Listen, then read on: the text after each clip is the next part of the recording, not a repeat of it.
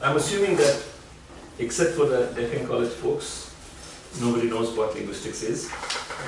Okay, so uh, let me begin by saying that uh, the word linguistics is almost like human studies. It's a huge spread of different kinds of things, and quite often people who call themselves linguists may not understand each other depending upon what branch of linguistics they study. And also, quite often, people who have different kinds of linguistics hate each other, which is That's true in every subject. yeah. Um, so what I'm going to do is to talk about the kind of linguistics that I have been, uh, I, I was trained in, so to speak. Uh, there are other, many other kinds of linguistics. Uh, and that kind of linguistics is interested in studying the structure of language, not the other kinds of things. So, uh,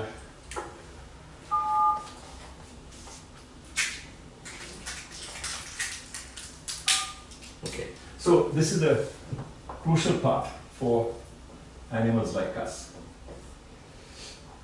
And by structure, um, what I mean is uh, configuration of parts. So if you have a human hand, you can say that it consists of three pieces. If you're thinking about finger, it consists of three pieces. And then you also have something about their relations how the parts are put together and what their relations are uh, among themselves and to the whole. That's what we mean by structure. And this is important because if you're used to protein structure, uh, it can refer to shape rather than what I meant as structure. And I've had serious difficulties talking to people who do structural biology. We don't understand each other. Okay. Um, now let me give you some examples of what I mean by structure. So let's take a word like raisins. Um, raisins, or any word or sentence or in, in language, has a pronunciation part. And raisins, I can represent the pronunciation like this. There's a r sound, and there's an a sound, there's a z sound, and e sound, and n sound, and z sound. So this is, I'm representing the pronunciation. And the pronunciation part has a certain structure. So you could say it consists of two syllables, re and zins, and these two form the word. That's, and the things that I call syllables have some kind of internal structure, I won't go into that. Uh, and also these, these things, the individual sounds, have also some kind of internal structure. But this is, this is kind of beginning of structure at the level of pronunciation, and people call it phonology. Phonology is the study of the structure of sounds or the pronunciation. Then there is another kind of structure which you might call syntax. And by syntax, I mean some kind of abstract level of structure. And what this would be, let's say, uh, this will be raisin and S. Okay, that's a word. So okay, this is one unit, that is one unit. Notice that the way I divided up the things into units are different.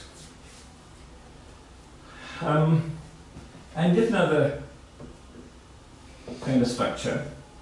And you can say this, uh, I'm going to just represent it kind of like that, that thingy that we call raising. And uh, then there is another unit it's called more than one. And these two are put together. And this is uh, what we mean by semantics. The semantics is the study of the structure of meanings. Um, so a, these, these are the three, uh, three, broadly speaking, three dimensions of structure, or three parameters of structure. And you can see that the, these structures are different.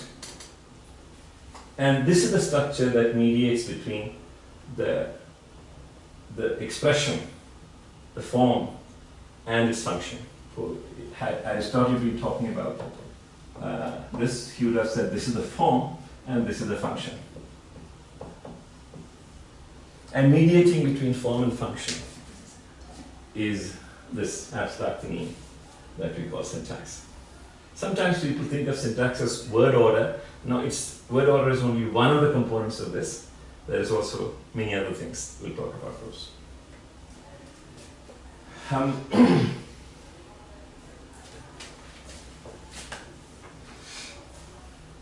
so these are the, the dimensions of structure. Uh, you could also, instead of saying dimensions, we could also think about planes of structure. So in a certain sense, you can say there is a single entity, right, and various things there. And you can imagine that as being, uh, for example, suppose I do this. Uh, there is structure along this plane and structure along this plane, structure along this plane and so on. That's one way of imagining it. And these structures along these different planes are interconnected. So there are laws governing this, there are laws governing this, and laws governing this. These are, laws are not the same. And then there are also laws governing the relations between these dimensions. Um, and people refer to them as um, people refer to them as formation rules. Formation rules are the laws governing each dimension, how things are put together in each of these. Uh, and when linguists use the word rule or constraint, they mean the same thing as law. So I might use any of those words. Uh, linguists don't use the word law for some historical reason I don't understand, but they mean the same thing. One of the reasons is because when linguistics, uh, the kind of linguistics that I described started in 1957, there's a very specific time when it originated, unless you say it originated with Panini. Uh, they started, they were thinking about laws as algorithms, procedures to create structure. And for a long time, in fact, the whole of theoretical linguistics was in terms of those procedures, mechanical procedures to create structure.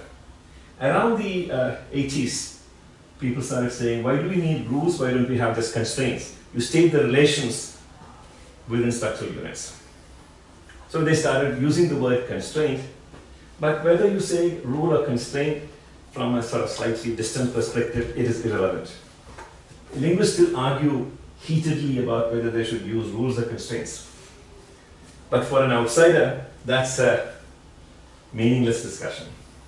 And it's very hard actually to find real evidence to argue for one or the other. I used to belong to, at some point in the 80s, I belonged to this religion and argued heatedly for abandoning rules in terms of constraints. Uh, and then I found evidence that quite didn't fit uh, my religion and was very disappointed. But nobody actually pays attention to such things because if you find counter evidence, sometimes what happens is you try to ignore it so that you can survive. okay, it happens in every every science. Okay, um, and as far as I know, that problem has not been settled. Okay, so we have these formation rules and we have these correspondence rules. Formation rule, as I said, are the internal structure in each dimension. And uh, correspondence is things that connect different structures. So there is a structure of meaning and there is a structure of syntax. So what is the relation between those two? There is a structure of uh, sounds and the structure of syntax. What is the relation between these two? What is the relation between these two? Okay. In addition to these uh, dimensions of structure, we also have uh, levels or hierarchies of structure. And by hierarchies, I mean uh, very small and slightly larger and larger and so on. It's kind of like saying you have molecules and then you have cells and then you have the organism, that kind of stuff. So um, let's try take something like um, he uh, re read the book. And you have these pieces. Books. And then you find that these are words, and those words form a sentence. And within that, you have these pieces. So these are internal to words, and this happens to be a word, but this is not a word. This happens to be a word, but this is not a word. So if you say something like unhappiness, that's a piece, this is a piece, that's a piece. There are three pieces, only one of which can exist as a word. And these guys people call morphemes. And then you have words, and then you, have, you can say sentence. And then things larger than sentence. So in unhappiness, like, what do you mean by word here? What do I mean by word? Huh. I don't know exactly what a word is unless I give you a six hour lecture on word. Um, because, why don't we say we all know what it means? One way of talking about this is that in English, a word is that which is separated by spaces. Um, that's one. But another way of thinking about it is say, suppose I, I give you a Malayalam word or a Hindi word or something like that and say, what is that in English? You will, you will say, oh, it means happy. Or it means, you will say, it means unhappiness. Right? But you will not say it means un. You will not say it means ness. You will not say it means we. You will not say it means z or s. Right? That is a kind of intuition of the idea of word. Uh, by and large, when we begin a course in linguistics, we assume that there are things like words and things like sentences. We don't question it. We take it for granted. And then we begin the whole structure on the basis of these two assumptions. We will, of course, argue why this is necessary. And then maybe after about a couple of years, we'll go back to this question do we need words in language structure? What is a word? But you can't understand that question until we have done you know, at least one year of linguistics. So let's, let's, you know, it's kind of like asking the question, what's a species? Okay? It's not a question that you would expect uh, to be answered at the beginning of biology, maybe much later. So this is a complicated thing. Uh, Tara, my wife, wrote a whole paper on called wordhood in linguistics. And then she discovered that the notion word consists of many different ideas, they are kind of conflated together. So she called them semantic word, phonological word, functional word, categorical word, and so on. So I wouldn't go into any of those. Let's assume that we all know what it means. So this, thing that you said in English doesn't uh, work for all languages, but words are separated by space. Yeah, that, exactly. That's why I couldn't, I couldn't doesn't apply to answer the question. That's right. Yes. Yeah. So in Urdu, for example, Mm. so if it is something like happiness, happy Mm. and ness are separately, I see. Okay. not joined. But maybe you know, what what say that again? So uh, Urdu or even Hindi, Hmm. okay, mm, things like K, would Ah. be separately. Okay. Yeah. Tho- those are the difficult cases. Ah. They are words according to one in one of these dimensions, but they are not words in some other dimension. Ah. So that is why it is necessary to tease, tease apart these different concepts of word. Yeah. Absolutely. So if you say Ramne, for example, is Ramne a single word or two words? Ah. Well, the answer is it is one word according to some, Yeah, and you know not so in. There some. the name is a morpheme, right? It's a morpheme. Yeah, Morpheme. morphemes are slightly better than words. Okay, okay. It's easier to kind of have a handle on, though not quite, but Mhm. much better than words. So I'm, I'm actually glossing over a whole bunch of difficulties when I do this stuff. but that's okay. You know, when you begin, you have to begin with some kind of broad approximations. So these are the kinds of levels or hierarchies that I'm talking about. So there are different levels of structure, there are different dimensions of structure. Each of these has these three dimensions of uh, pronunciation, the abstract stuff, and meaning at all these levels.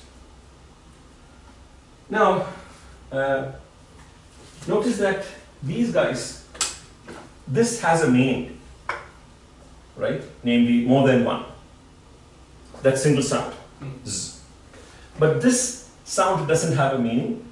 This sound doesn't have a meaning. This sound doesn't have a meaning. This sound doesn't have a meaning. So these are a few rare cases where one sound has a meaning. Meaning comes in only when you have a collection of sounds. So, one possible way of thinking about genes is that genes are like this. Genes acquire meanings or functions only in when they function when they come together as collections of genes. And then you have all these peculiar things happening here. You will find, I'm pretty sure, in the relation between uh, the molecular level structure and the phenotypic level of structure. The relation between them is extremely indirect, not one to one, many to many. So, one of the reasons why I brought this up is to explore the possibility. Many of you are biologists, or at least have done lots of biology, even if you are not biologists. Uh, and the view of structure that comes here, it is possible that it sheds light on the relation between genes and phenotypical structures as well. I'll just say this and then proceed, and we can look at it as we proceed. Um, okay.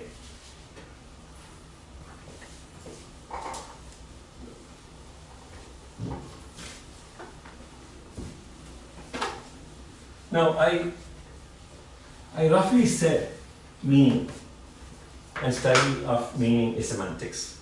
But there are different aspects of meaning, and many of these aspects, linguists of my persuasion will be not interested in. So, for example, there's a kind of meanings which are associated with, associated with poetry. Uh, the people who study structural meanings of this kind will say that is outside of our domain. We can't deal with that, and we don't want to deal with it. So if you say something like uh, April is the cruelest month, and the at, at a literal level, what does it mean to say a month is cruel? Okay, and the linguist, uh, linguists of this type will say that's an ill-formed, semantically whatever ill-formed thing. And poets kind of somehow assign meanings to semantically deviant sentences. But there is a branch of linguistics called stylistics, and they study things of this kind. We don't. Well, when I say we don't, I also kind of occasionally move over to the other camp, but now I'm wearing the hat of a, of a linguist, so I say we don't study those things. I do, actually. Um, another aspect of meaning that we do not look at is the distinction between uh, two kinds of meaning one is what you might call grammatical meanings.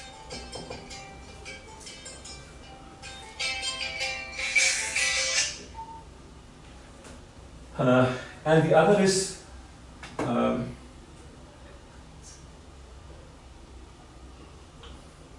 uh, what it refers to in terms of the world. This is this is the part that is important for the work that Vishak was doing. So let me explain that a little bit. Suppose you take the word red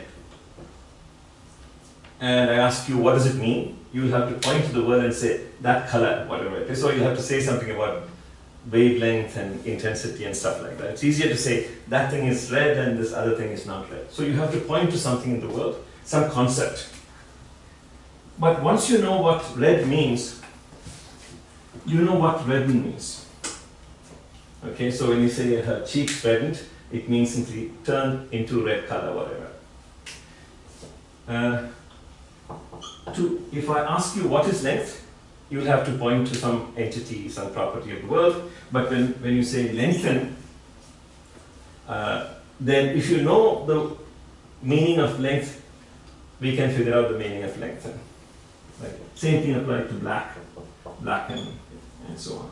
Sad, sad is simply a reference to the world, but when you say sadden, there is something that is expressed by that thing. This is a kind of morpheme that is part of the structure of the language. So this is structural or um, grammatical meaning. And this is not structural, this is simply word, part of our world knowledge.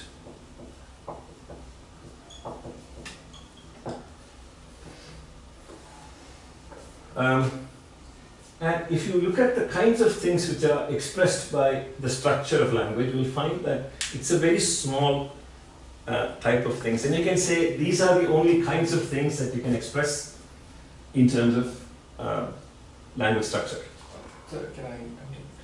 Uh, when you say this world, world language, uh, you mean they are nouns, right? Basically, uh, you- do you do you mean that do you mean that they are uh, nouns and these ens actually make give a Yeah, there, there is the it changes uh, noun into a verb. verb?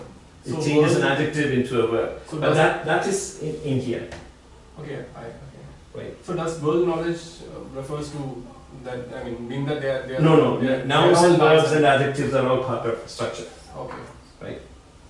Uh, but the distinction between black and red Hmm. is part of world knowledge. It is not structurally expressed. It's simply an arbitrary thing. No, I think what he wants to ask is Hmm. Whether only nouns come under world knowledge? Oh no no no! so. Yeah. Nouns and verbs and everything. So take take something like decentralize. Okay, there's something about center. If I ask you what is center, you'll have to point to the word, some area and the midpoint of that. But what does D mean? That's structurally encoded meaning. What is eyes? Eyes means convert something into a process. These are the structurally expressed meanings. So in raisins, for example, this means more than one. Some languages can express the distinction between one and more than one. Others will express meaning one and two and more than two. But as far as we know, there is no language that expresses, structurally expresses one, two, three, four, and more than four, and so on. Okay, that is simply impossible. That's uh, one of the universals of this part of meaning. There is no, no language that expresses color distinctions in terms of structure. Hmm. Number, yes, but not color distinctions. So only a certain, certain small subset of meanings can be expressed in terms of structure. So we are interested in studying those meanings. What are the meanings that structure can express? Like um, world knowledge it, there- it could also be more nuanced like for example a word like misogyny so Yeah, it's deriving uh, meaning from subparts even though you actually yeah, it, it's become, people would say it has become opaque. So even though parts have meanings, the meaning of the word is not compositional. There are many cases like that. For example, blackbird, Hmm. right, is not necessarily a bird that is black. Butterfly is not a fly that is made out of butter. Right? Strawberry is not berry that is made of. These are cases where there are these two pieces, but the meanings have become muddled, muddied, whatever, and people say these are opaque. Opaque in the sense you cannot derive the meaning of the whole Yeah, breakdown and from the meanings of the parts. but misogyny you can Yeah, you can. Yeah. So then, uh, I, I, you can in the sense of etymology, yes but not in the sense of people's actual consciousness.